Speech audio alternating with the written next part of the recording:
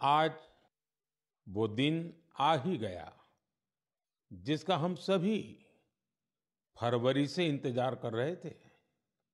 मैं मन की बात के माध्यम से एक बार फिर आपके बीच, अपने परिवारजनों के बीच आया हूँ।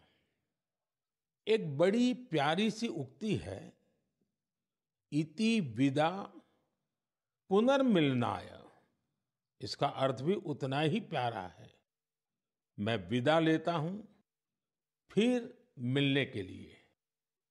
इसी भाव से मैंने फरवरी में आपसे कहा था कि चुनाव नतीजों के बाद फिर मिलूँगा।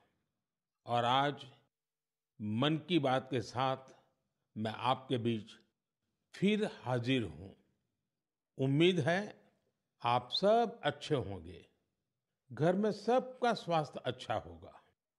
और अब तो मानसून भी आ गया है, और जब मानसून आता है तो मन भी आनंदित हो जाता है।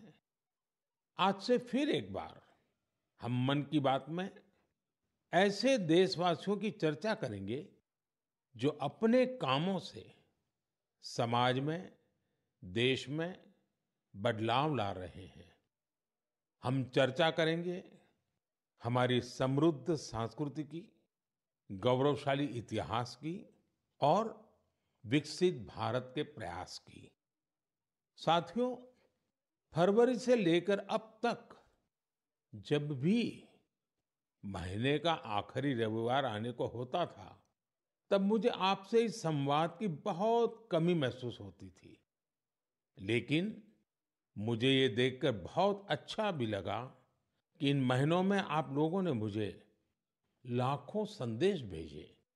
मन की बात, रेडियो प्रोग्राम भले ही कुछ महीने बंद रहा हो, लेकिन मन की बात का जो स्पिरिट है, देश में, समाज में, हर दिन अच्छे काम, निस्वार्थ भावना से किए गए काम, समाज पर पॉजिटिव असर डालने वाले काम, निरंतर चलते रहे।